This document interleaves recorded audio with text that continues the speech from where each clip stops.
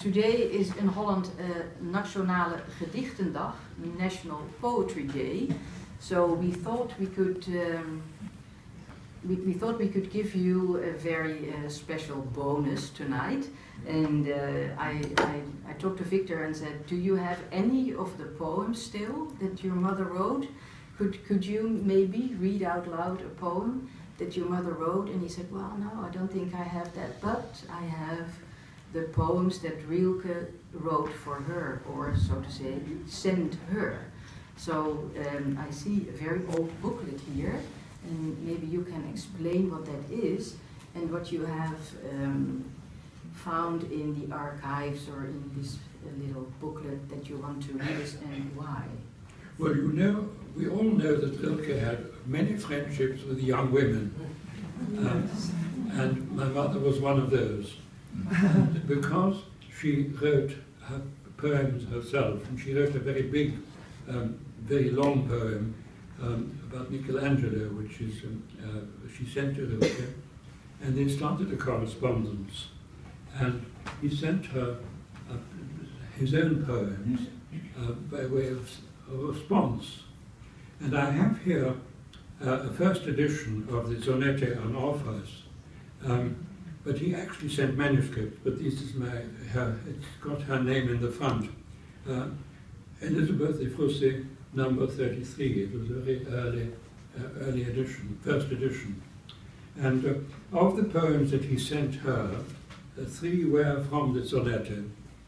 So shall I read one, one or two of them? Uh, I, I would love you to read them, mm. and uh, but I also want to give the audience the possibility to ask questions, but maybe we should do the reading first.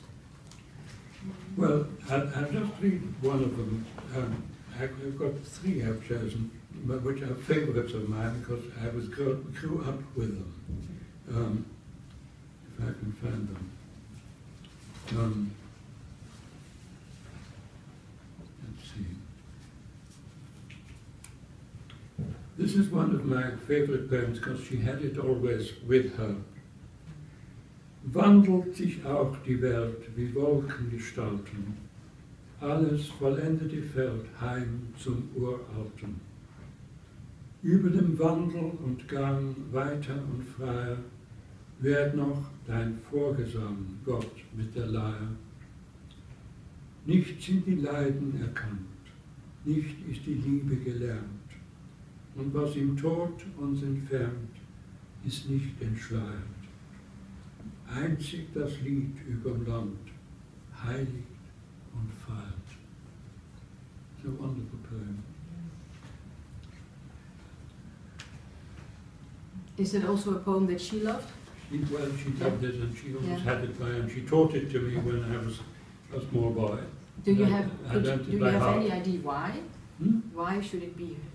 Is this one of her favorites? One of the favorites. Well, it's one of the he sent her, you see. Yeah. Um, so she had the feeling it might have been written for me. Yes, that's right. Okay. Yeah. Um, and you, you will all know Rilke's sonata, and they are real treasures, aren't they? As well as his. Um, I've got two more here. Yeah, please do. We're, uh, we're, we're in, in the Austrian embassy. We need some German here. also, Deutsch kann ich auch sprechen, aber ich habe immer super. Ich habe Kein Problem, aber jetzt ein bisschen Deutsch bitte. Wir könnten ein bisschen Deutsch sprechen, wenn Sie wollen. Ich meine nur mit, mit dem Griechen. Gut. Also 1992 gestorben. Er hat ein ganzes Jahrhundert durchgelebt. Im Krieg, im Ersten Krieg, Weltkrieg, war die Familie, die Fussi-Familie dann in äh, Bad Ischl äh,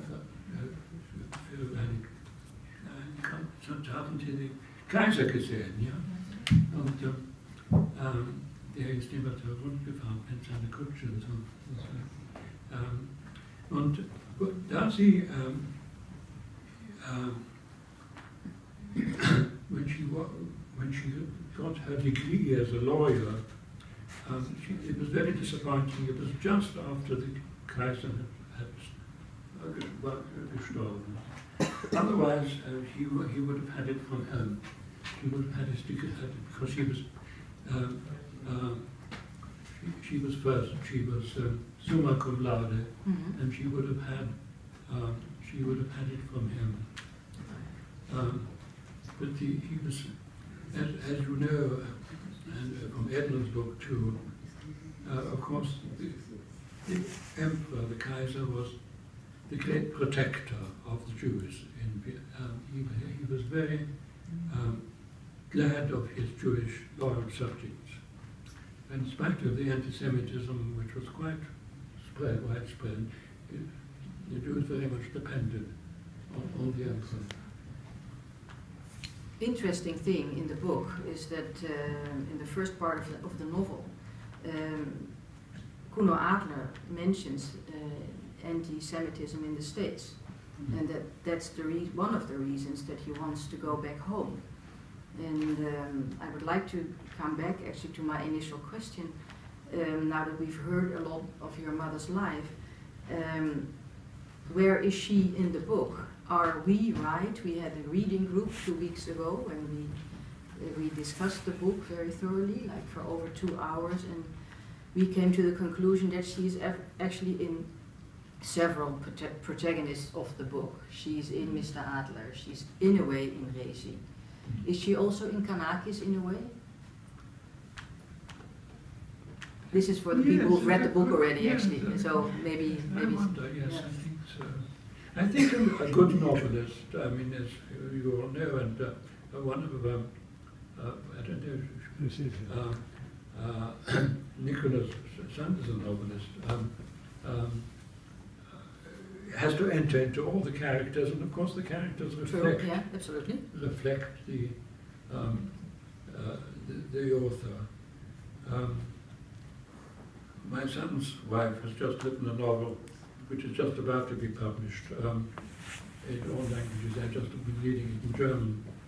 And um, clearly it is, uh, her own experience is very much in that, in that novel. Are there any questions for Mr. Waal? Mr. Waal, um, thank you so much for, for, for everything that you told us tonight. Would you Um, like to As a, as talk a the mic? uh, translator, I would be very much interested to um, know whether you as children were aware of the fact that your mother was writing these novels. Did, did she, did she speak about them? Did she mention them to you? Were you aware of what was in them? No, not really, because um, we what, what we were aware of was that she had her study upstairs in our little house, and she was always there writing, uh, and all the time. And she wrote th- two novels in German and uh, three in English, Yeah. and um, uh, none of them, of course, were published at the time. But she did try. That's what She did yeah, try this yeah, one in okay. particular. Oh, only this. Yeah, this one. yeah. But it, it was too close to the Mhm. events. Yeah. People were not in, didn't want to know really. So she was disappointed about that, as she as with that bit which we had you read out for. Yeah. Um, I I wonder what she would make now. Um, but uh, uh, but she was always writing. Yes, we were aware of that, but of course we didn't know what um, what she was writing at the time. She helped us, of course, in our own writing very much, um, uh, with our homework and the essays and all that sort of thing. Um, she was very good a, a teacher. Uh, even when I was a very small boy living in Oberbozen, she was teaching me French um, with um, the, uh, the um, La Fontaine's, uh, teaching me La Fontaine's fables and so on. She was very widely aware, of course. Any other questions?